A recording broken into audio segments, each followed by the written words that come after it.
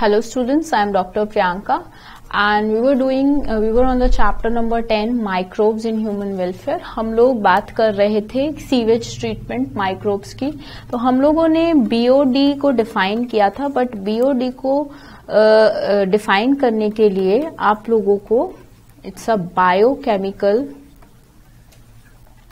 oxygen demand तो अगर आपको फ्लॉक्स को समझना है तो आप पहले बीओडी को एनसीआरटी के अकॉर्डिंगली डिफाइन करेंगे। That means it refers as it's refers to the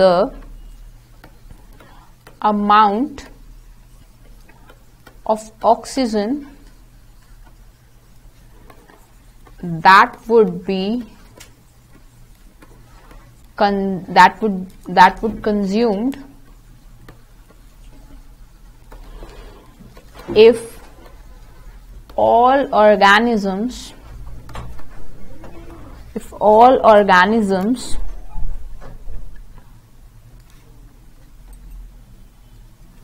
yeah if all organic matter in 1 liter of water is reduced that means जो हमने पहला लिखाया था वो थोड़ा सा सिंपल था। वो लिख के लाओगे तो शायद जो आपके, जो चेक कर रहा होगा, आपके पास जो एग्जामिनर जो चेक कर रहा होगा, वो थोड़ा सा नंबर देने में चूक कर दे। बट मैं इसको मतलब समझा देती हूँ। फॉर एग्ज़ाम्पल ये आपका रिवर है और ये बहुत गंदा है। ठीक हो? अभी ये रिवर बहुत गंदा है।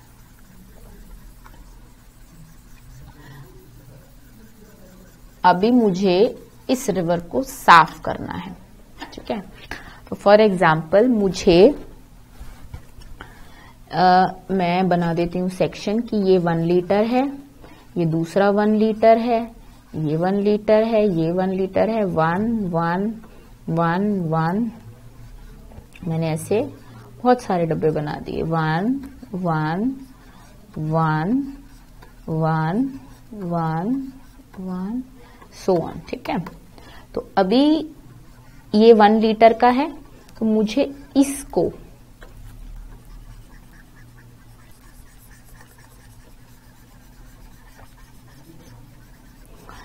एक डिब्बे को, अगर ये एक डिब्बा, ये वन लीटर का डब्बा है या वन लीटर ऑफ़ वाटर है, अगर ये एक डिब्बा, एक एक कंसेंट्रेटेड हुआ। गंदा ज़्यादा हुआ तो मुझे ज़्यादा मेहनत करनी पड़ेगी। अगर ये डाइल्यूट हुआ, इसमें टॉक्सिसिटी कम है दैट मीन्स तो मुझे कम मेहनत करनी पड़ेगी। तो वो यही बताना चाह रहा है कि इसको एक को साफ़ करने में लेटर सपोज़ मुझे 30 ग्राम ऑफ़ ऑक्सीजन लग रहा है। और एक और ऐसा ही डिब्बा लिया मैंने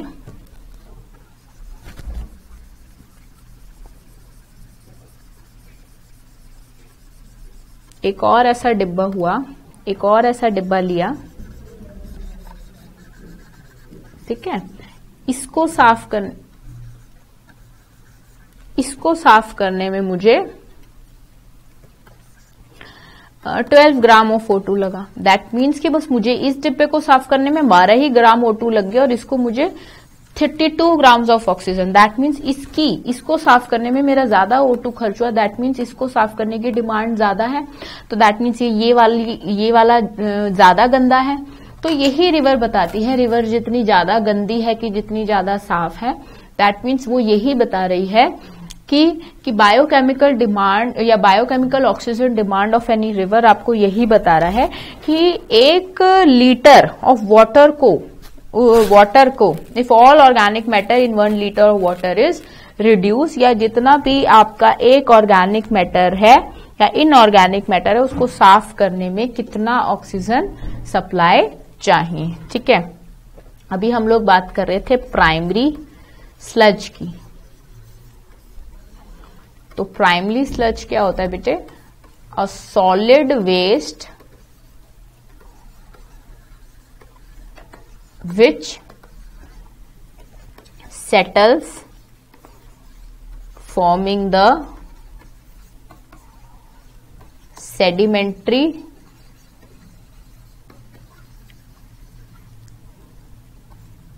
sedimentary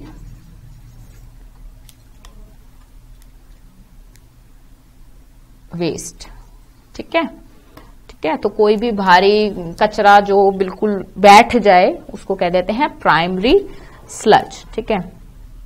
अभी अगर मैं बोलू biological treatment sorry primary sludge हो गया। अभी primary treatment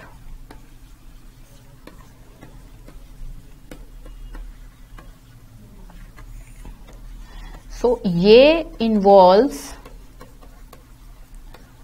removal of physical amount of removal of physical amount of particles. Here you can say involves removal of removal physical particles.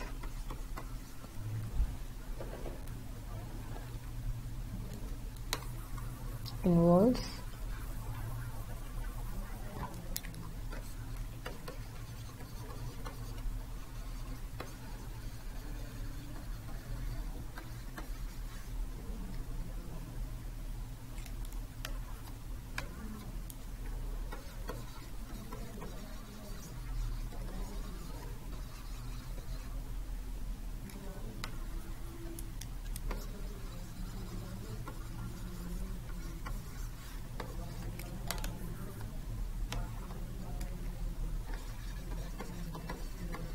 of particles large or small right उसमें these removed by sequential filtration बार बार filtration करना, पहले एक को करा, वो थोड़ा सा फ़िल्टर हो गया, दोबारा कर दिया तो sequential filtration then grit soil particle removal ठीक है? फिर they are removed as primary sludge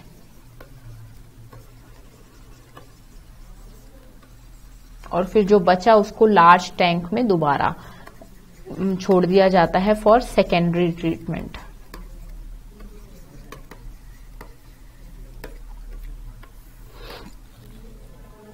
ठीक है?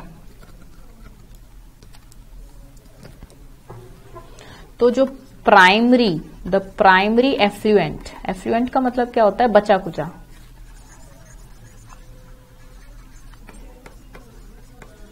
बचा कुछ आपने साफ़ किया, ठीक है? वो जो बच गया, ठीक है? वो जो आपने गंदगी मोटी मोटी निकालनी थी, वो निकाल दी, उसके बाद जो बच गया, उसको प्राइमरी एफ्लुएंट कह दिया, ठीक है? उनको लार्ज टैंक्स में लिख, रखते हैं। लार्ज टैंक्स में प्लेस्ड करते हैं। ठीक है? Then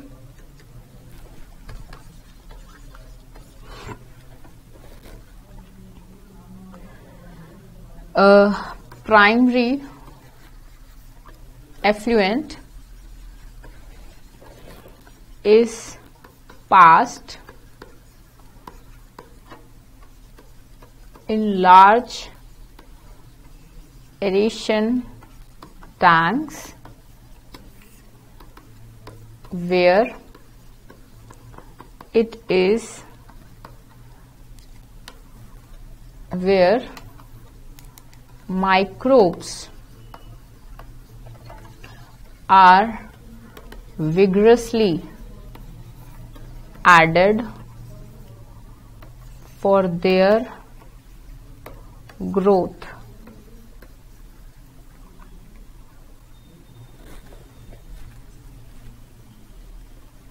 And air is simultaneously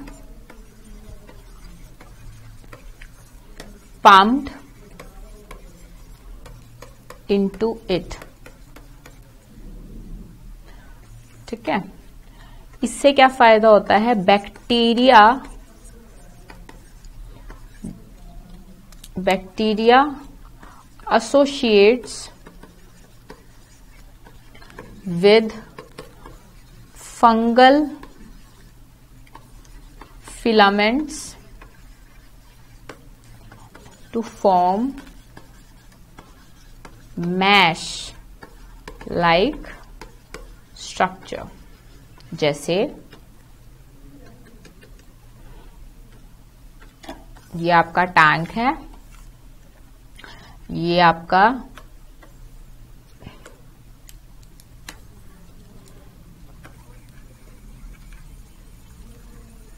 ये आपका गंध है इसको एरेटेड एरेशन टैंक में करा के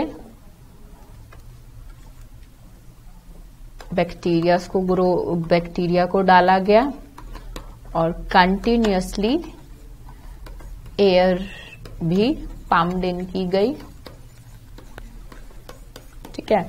अभी जो बैक्टीरिया होगा, यहाँ पे कुछ फंगल फिलामेंट्स भी होंगे, फंगस के फिलामेंट्स भी होंगे, फंगल के फिलामेंट्स होंगे। ये जो फंगल्स के, फंगल के फिलामेंट होंगे, ये बैक्टीरिया इन पे अटैच हो जाएगा और एक मैश लाइक स्ट्रक्चर बनाएगा।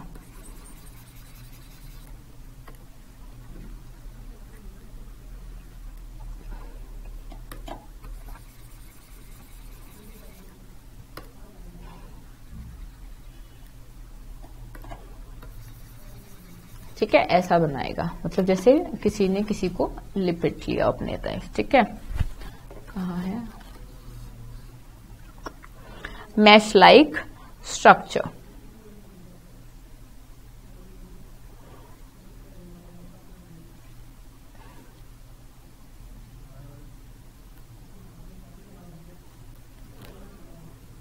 ठीक है तो अभी क्या करते हैं? Bacteria consume major part of organic matter digest कर देता है ऑर्गेनिक मैटर को तो जितना भी सारा डाइजेस्ट मैटर होता है ऑर्गेनिक मैटर ठीक है? दैट्स वाई बीओडी जितनी बीओडी कम, उतना पानी ज़्यादा साफ़। BOD inversely proportional to the pure clean water और सीवेज अगर बीओडी कम, पानी क्लीन ज़्यादा, अगर पानी ज़्यादा तो बीओडी अगर पानी ज़्यादा साफ़ तो बीओडी कम बीओडी ज़्यादा तो पानी साफ़ कम। ठीक है?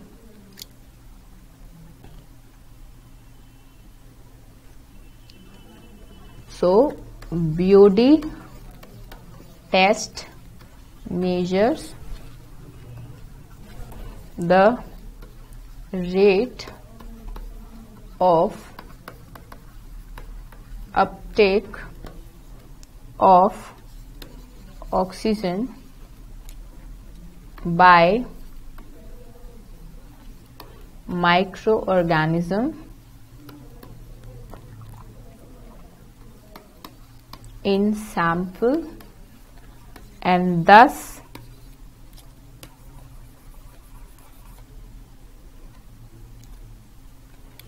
अगर बीओडी ज़्यादा तो ज़्यादा वाटर पॉल्यूटेंट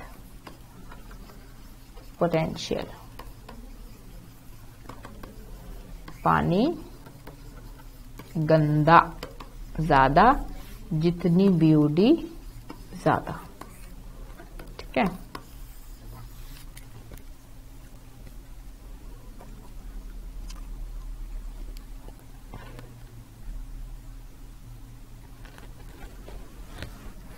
इनके बीच में ये जो स्ट्रक्चर्स बन रहे हैं, इनको बोलते हैं फ्लॉक्स ठीक है? क्योंकि माइक्रो ऑर्गेनिजम्स एक का नेश वाला एक स्ट्रक्चर बना रहे इन अ कंपेटेटिव वे ठीक है?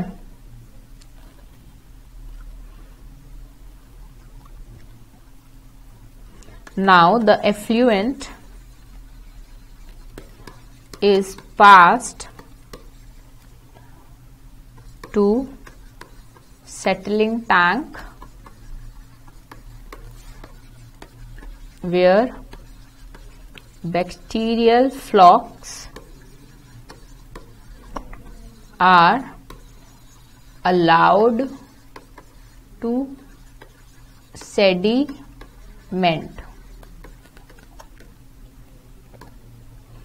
allowed to sediment ठीक है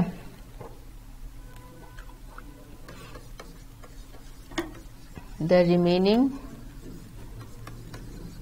part of sludge is pumped out in large tanks called anaerobic sludge digester bacha kucha of microbes का बचा कुचा डाइजेस्ट किया हुआ मैटर ठीक है?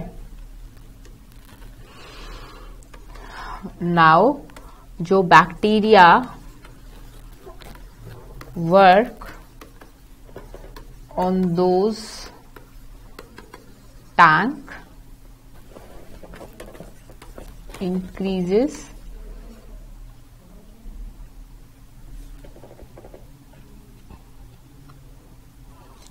Uh, on those tank digest the sludge bacteria produce different mixture of gases like CO2, H2S, CH4 called biogas source of inflammable energy. Source of inflammable energy. है so, that's how the sewage are cleaned up to any level following these steps इन steps की वजह से सीवेजेस को clean करना बहुत easy हो गया है। क्योंकि सबसे पहले बेटे क्या होता है? प्राइमरी एफ्लुएंट में, ठीक है? प्राइमरी एफ्लुएंट या प्राइमरी ट्रीटमेंट में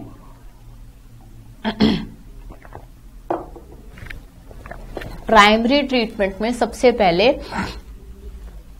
प्राइमरी ट्रीटमेंट में सबसे पहले मोटा मोटा जितना भी गंद होता है वो निकाल दिया जाता है। जब मोटा मोटा गंद निकाल दिया जाता है, तब क्या बचता है? तब उसका तब उसको सेकेंडरी ट्रीटमेंट के लिए एरिटेटेड टैंक में से या पंप्स में से पास कराया जाता है, जिसमें उसके अंदर बैक्टीरिया डाला जाता है तो बैक्टीरिया के फ्लॉक्स बन जाते हैं, गोल गोल गोल गोल। उसके बाद वो फिलामेंट से कनेक्ट हो जाते हैं तो वो मैशवर्क मैशवर्क लाइक स्ट्रक्चर बना लेते हैं, ठीक है?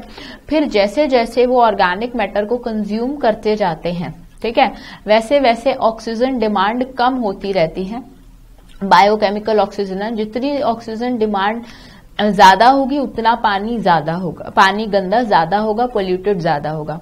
अगर बायो बीओडी कम है दैट मीन्स प्योर पानी ज़्यादा है। अगर बीओडी ज़्यादा है दैट मीन्स प्योर का पानी कम है। इन्वर्सली प्रोपोर्शनल का रिलेशनशिप है प्योर पानी से और पोल्यूटेड पानी से डायरेक्टली प्रोपोर्शनल का रिलेशनशिप है। उसके बाद क्या किया जाता है? बड़े बड़े टैंक्स में एरोबिक बैक्टीरिया को सेटल डाउन करने दिया जाता है और जितना भी उनका जो वेस्ट वो कर रहे थे, वो बाहर निकाल लिया जाता है लार्ज टैंक में, जिसको एनारोबिक डाइजेस्टर्स कहते हैं या एनारोबिक वेस्ट डाइजेस्टर्स कहते हैं। ठीक है? उसके बाद during the digestion of rest of the things bacteria different different mixture of gases निकालते हैं लाइक टू हो गई मिथेन हो गई एच टू एस हो गई। सो so, ये गैसेस को बायोगैस कहते हैं जो कि highly source of high source of energy है which is very inflammable gas which is acting as a fuel ठीक है? अभी अभी ये जो बायोगैस है, ये बहुत पहले तो एक गाँव से शुरुआत हुई थी, अभी ये जगह जगह बनाए हुए हैं, क्योंकि ऑब्वियसली आप एक वेस्ट को प्रोड्यूस करके, ठीक है? एक वेस्ट को फर्मेंट करके, एक वेस्ट ही चीज़ को तो साफ़ कर रहे हो और जिनकी वजह से आप एक सोर्स ऑफ़ एनर्जी बना रहे हो। जैसे ही अभी action Yamuna action plan government ने क्रिएट किया था तो उसमें भी यही सारी चीज़ें हुई थी। एरोबिक बैक्टीरियाज को एनोरोबिक बैक्टीरियाज को, ये जितने भी माइक्रो ऑर्गेनिजम्स थे, उनको कंक्लूड कराया गया था। कंक्लूड कराने के बाद उनको उनको they are made to clean the sewage and they are made to clean the rivers in a clean way ठीक है?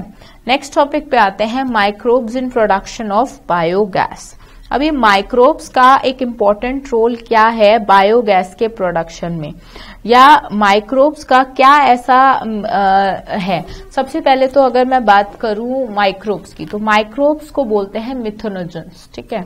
जो कि बायोगैस बनाते हैं। Biogas is very highly inflammable gas ठीक है? इस इन्फ्लूमेबल के कारण हाईली इन्फ्लूमेबल गैस के कारण ये जो गैस है इसके कारण बायोगैस ये माइक्रो ऑर्गेनिजम्स को मिथोजेंस कहा जाता है। तो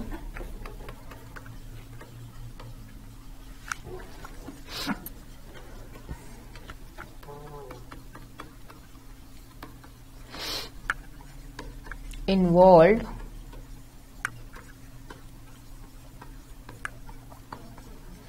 in the production of gas like CH4 methane, CO2, hydrogen sulfide, etc. during digestion of toxic or pollutant of sewage or river are called methanogens.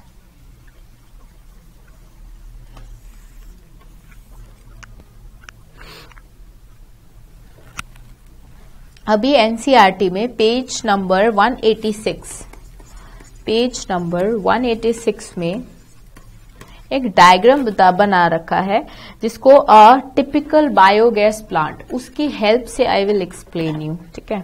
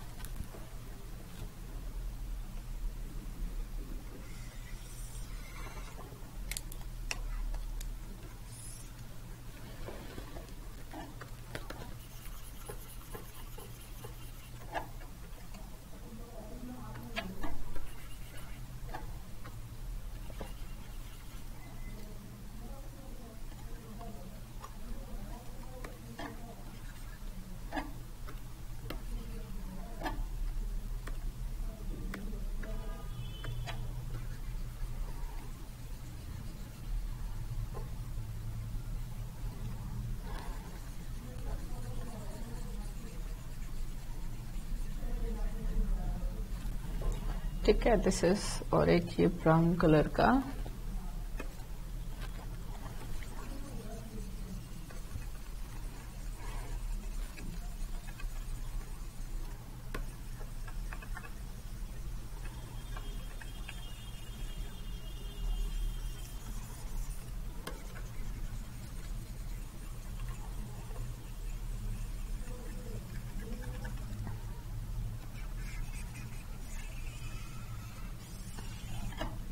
ठीक है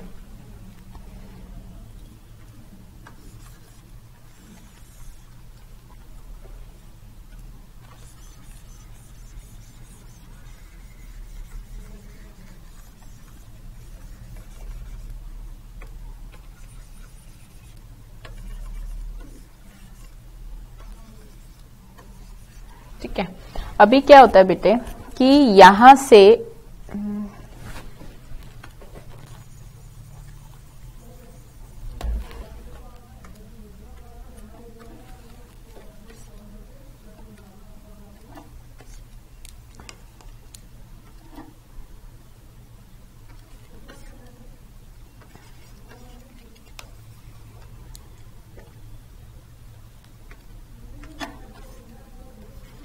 this is the water plus sludge जो गंदा है, वो यहाँ से भेजा जाता है, ठीक है? ये 10 से 12 फीट नीचे होता है डाउन यहाँ पे सारे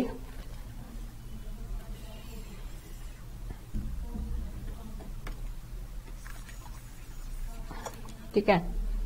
यहाँ पे सारे जितने भी होते हैं माइक्रो ऑर्गेनिजम्स होते हैं। ये जो माइक्रो ऑर्गेनिजम्स होते हैं, ये फर्मेंट कर रहे होते हैं।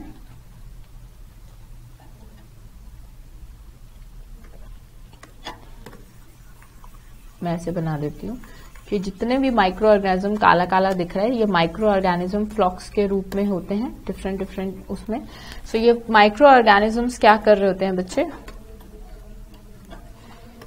फ्लॉक्स के रूप में बैठे हुए होते हैं और ये मेटाबॉलिक केमिकल एक्टिविटीज़ कर रहे होते हैं, जिनकी वजह से ये different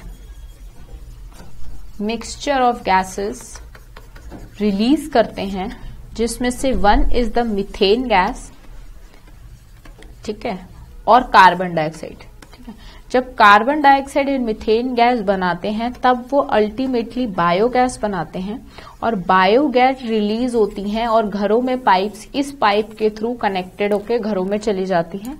और बाकी जितना भी वेस्ट होता है, वो एज सच नीचे बच जाता है और ये जितना भी सीवेज ये ये क्लीन हो जाता है और जितना भी सीवेज होता है, वो क्लीन वाटर प्लांट के टाइप में क्लीन हो जाता है।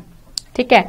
ये जो बनाया हुआ है दिस इज़ द होल्डर जिसमें जितना भी ये गैस जितनी भी रिलीज़ हो रही है ठीक है?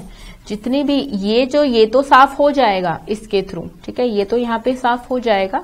जितनी भी गैस है ये इस एक्स्ट्रा टम्बलर में आ, बन जाएगी। दैट मीन्स रिलीज़ होकर रिएक्ट करके ये बाकी घरों में इन्फ्लेमेबल सोर्स ऑफ़ एनर्जी के रूप में ट्रांसपोर्ट कर दी जाएगी। So this is how this is how the microbes are in the production are actively involved in the production of biogas now अगर अब मैं बात करूँ कि microbes as biocontrol agents and the last is the microbes in biofertilizers so, so we have left with the two topics तो अब next हम लोग टॉपिक करेंगे कि microbes as bio control agents तो माइक्रोब्स एक्ट कर रहे हैं बायो कंट्रोल क्या कंट्रोल एजेंट क्या कोशिश कर रहे हैं कंट्रोल करने की? बेटे माइक्रोब्स कंट्रोल करने की कोशिश कर रहे हैं pollution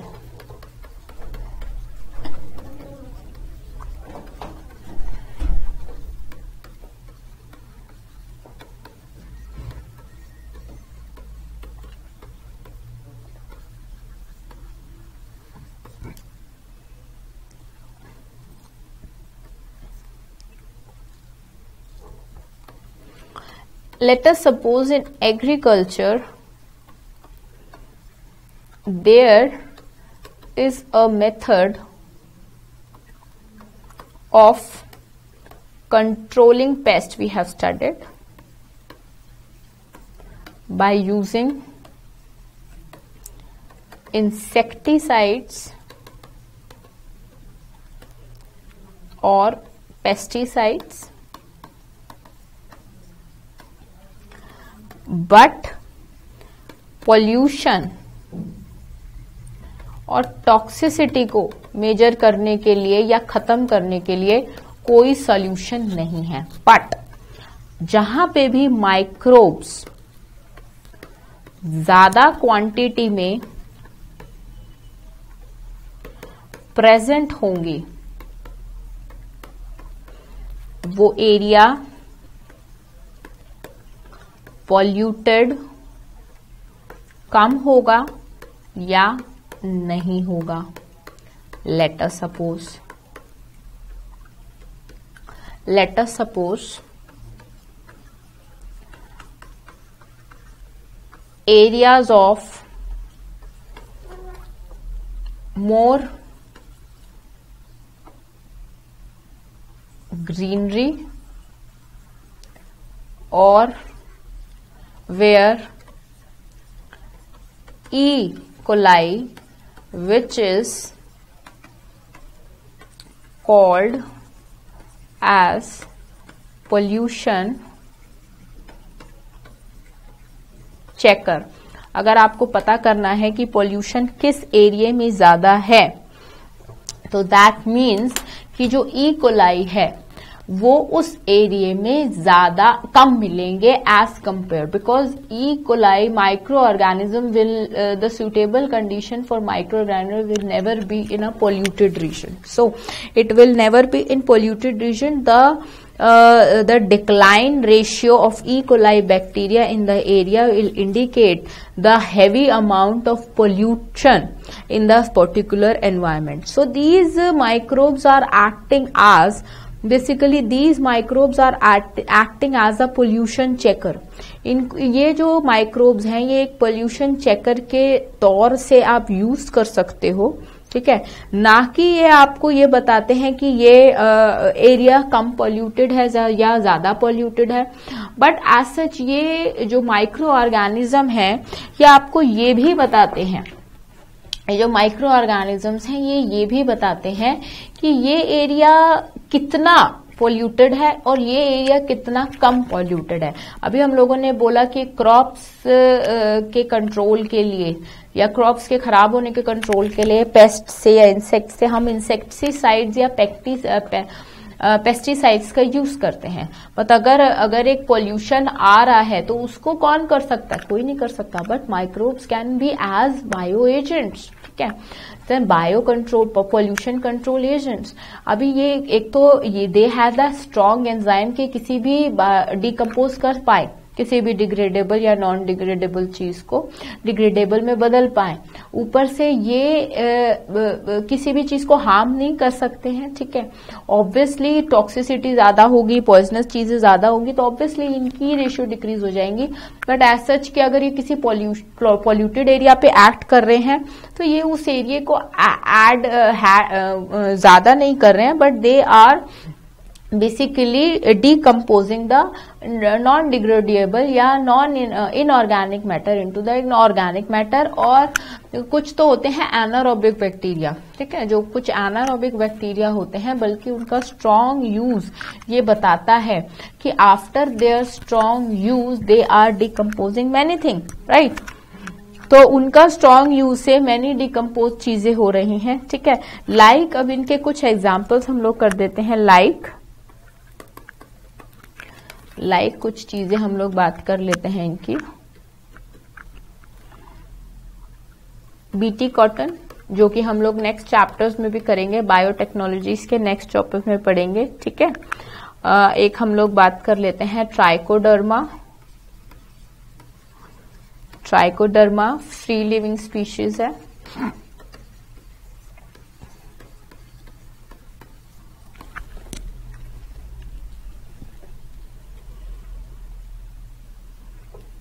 फ्री लिविंग स्पीशीज है। बायो कंट्रोल एजेंट्स भी कह सकते हो आप इनको। ठीक है। और अगर मैं बात करूँ तो एक और नाम आता है। हीडो virus excellent specific species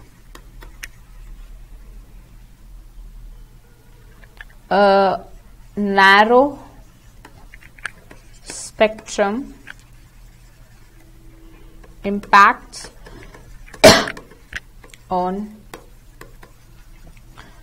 plants and maintain the equilibrium maintain the equilibrium of the ecosystem or environment right.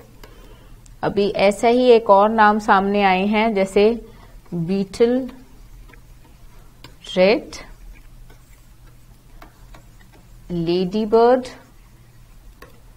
Dragon fly जो कि already x useful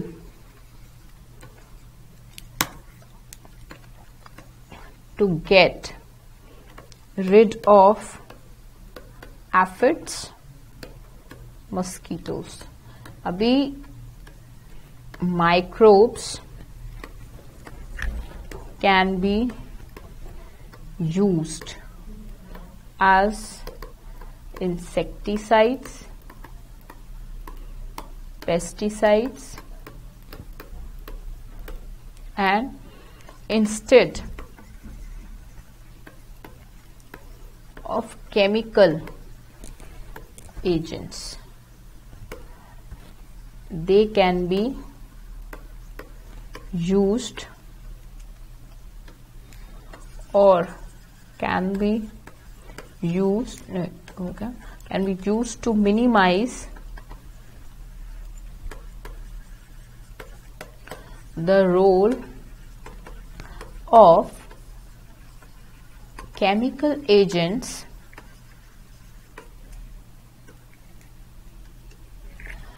degrading or polluting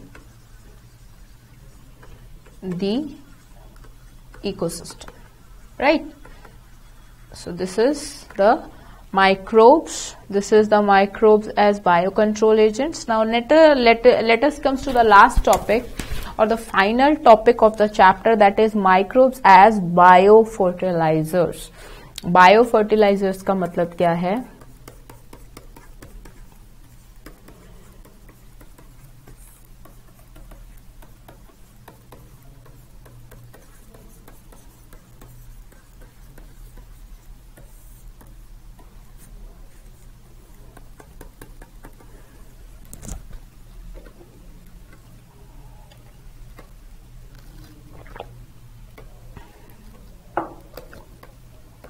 अभी माइक्रोब्स तो किसी केमिकल्स एज सच कोई हार्मफुल केमिकल्स के तो बने नहीं होते। जो कि ठीक है आप एक चीज़ का यूज़ कर रहे हो एनवायरमेंट के प्रोटेक्शन के लिए। मगर वो चीज़ आपको एनवायरमेंट को आपको डिग्रेड नहीं करनी चाहिए। तो microbes can be use as fertilisers ठीक है? जैसे फर्टिलाइजर्स uh, अभी जैसे आप लोगों ने पढ़ा होगा रूट नॉड्यूलेशन जो कि वेरी हेल्पफुल होते हैं ये। N two fixation of plant में. N two fixation of plant में वेरी यूजफुल होते हैं राइट right? अभी N two fixation of plant में जो ये यूज़ होते हैं, ये नोड्यूल फॉर्मेशन में जाते हैं. तो उसकी वजह से ये एक वेरी इंपॉर्टेंट सोर्स है for nitrogen fixation in the environment for the nitrogen cycle right तो अगर अब मैं इनकी बात करूँ as fertilisers then then chemical fertilisers the use of chemical fertilisers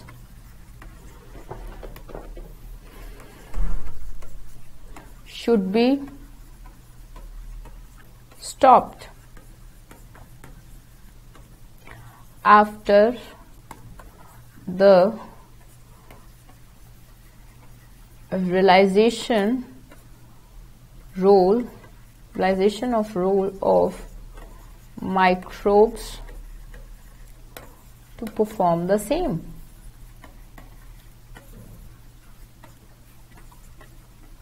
right right. दूसरा पॉइंट इसमें हम लोग क्या लिख सकते हैं like organic farming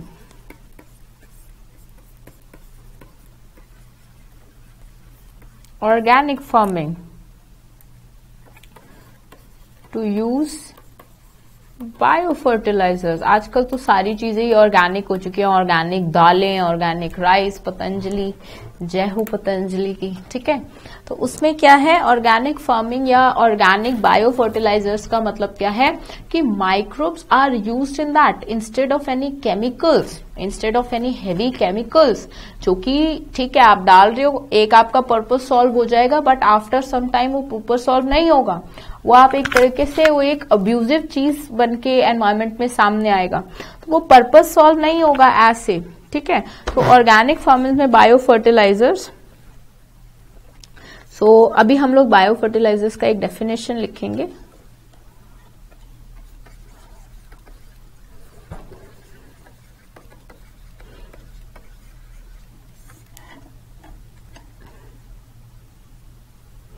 Biofertilizers are the organisms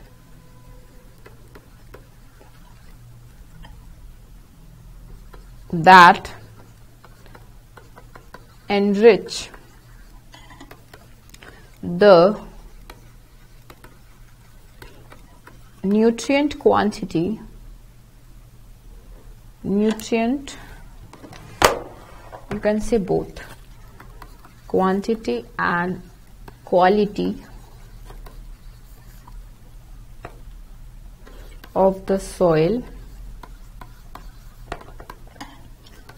Main source कौन से हैं इनके?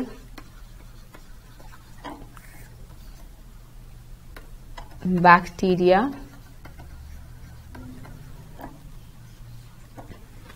फंजाई साइनोबैक्टीरिया ठीक है नोड्यूल्स ये मैंने अभी एग्जांपल दे दिया nodules of leguminaceae nodule formation of fruits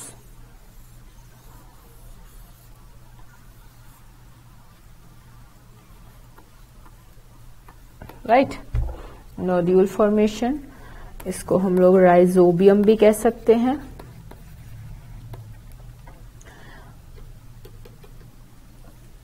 other examples अगर बोलूँ एजिटोबैक्टर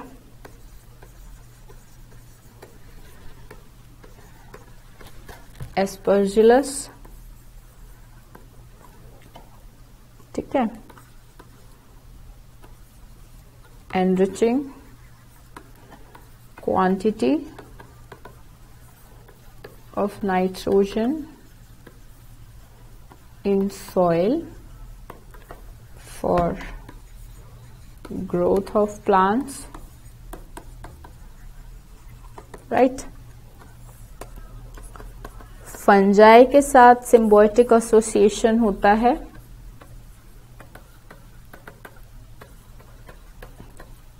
जिसको जिस सिम्बोटिक एसोसिएशन को बोलते हैं। फंजाई का सिम्बोटिक एसोसिएशन होता है प्लांट्स के साथ। जिसको बोलते हैं माइक्रोहराइजा ठीक है माइक्रोहाइजा ठीक है। They are from genus Glomus ठीक है। सिम्बायोटेंट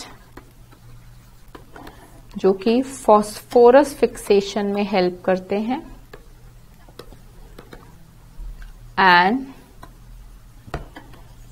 enriched the soil with phosphorus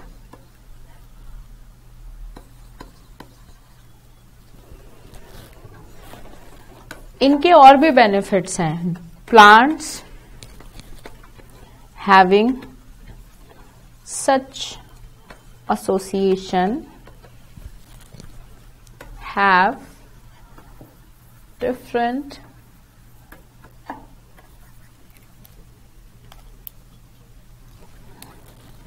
different benefits to ठीक है? इनमें बेनिफिट्स में क्या क्या इंक्लूड हो सकता है? Root resistance to root borne diseases, pathogens, tolerance to salinity and drought. जितना भी सलाइन हो जाएगा अगर सॉइल का पीएच उसमें भी the plant will survive the plant will grow ठीक है? अभी लास्ट एक है साइनो बैक्टीरिया साइनो बैक्टीरिया का तो भाई बड़ा महत्वपूर्ण रोल है इन एंटू फिक्सेशन में अगेन ठीक है? उनके जो सेल्स होते हैं they can fixed N two ठीक है? Anabaena N two and return back to the ecosystem अभी नेक्स्ट रह जाता है? Nostoc Anabaena Oscillatoria these are actively involved in N2 fixation ठीक है? N2 fixation and uh, nutrients regaining nutrients of soils by having one or the other chemical reactions ठीक है so this is the chapter we have completed In this chapter we have covered everything ठीक है? अभी हम लोगों ने microbes का deep role पढ़ लिया। In this the important part of the chapter is this the sewage plant ठीक है? इसे फाइव मार्क्स का क्वेश्चन आएगा सीधा। ऊपर से शुरू शुरू का जो चैप्टर था, उसमें नेम्स वगैरह तो आपको करने ही है कि कौन से बैक्टीरिया ने, कौन से माइक्रोब ने कैसा किया। दूसरा, ये जो सीवेज प्लांट है कि microbes can be use as a sewage treatment plants can be use in sewage treatment plants and the cleaning purposes ठीक है? क्लीनिंग कर सकते हैं एनोरोबिक तो ये आपको पूरा एक्सप्लेन करना है। और एक जो आपका बायोगैस प्लांट आप लोगों ने, हम लोगों ने बनाया था वो बायोगैस प्लांट का भी बहुत अच्छा रोल है, क्योंकि ये बायोगैस प्लांट बेटे कोई नॉर्मल बायोगैस प्लांट नहीं है। ठीक है ठीक है बैक्टीरिया एक प्रॉपर फ़ंक्शन करते हैं इन द सेकेंडरी ट्रीटमेंट जब बिल्कुल भी इफ्लक्स बच जाता है, उसको डाइजेस्ट करना, उसके, उसको, उसका फर्दर डाइजेशन करके वो मिक्सचर ऑफ़ गैसेस निकालने हैं और मिथेन और सीओ टू एड होकर एक बायोगैस बनाती है which is a highly source of inflammable gases जो कई कई गाँव तक लोग यूज़ करते हैं as a source of fuel तो उसको वो वो हमारे लिए हमारे लिए इनकी गिफ्ट ही है बिकॉज़ हम लोगों के पास वैसे ही सोर्सेज ऑफ़ एनर्जी के शॉर्टेज हो रही है, ऊपर से हम लोग को ऐसा ऐसा गिफ्ट मिल रहा है so this is the amount of a gift to us so this this इस पे फाइव मार्क्स का क्वेश्चन आ सकता है, ऊपर वाले पे भी फाइव मार्क्स का क्वेश्चन आ सकता है। यू प्राइमरी फ्लॉक्स क्या होते हैं? एनारोबिक वो सब बता सकता है और शुरू में आ सकता है। और इनके दो छोटा छोटा रोल आ सकता है, जो कि आप एग्ज़ाम्पल ज़्यादा देंगे तो नंबर ज़्यादा मिलेंगे। अपनी थ्योरी कम रखेंगे तो नंबर फिर ज़्यादा मिलेंगे।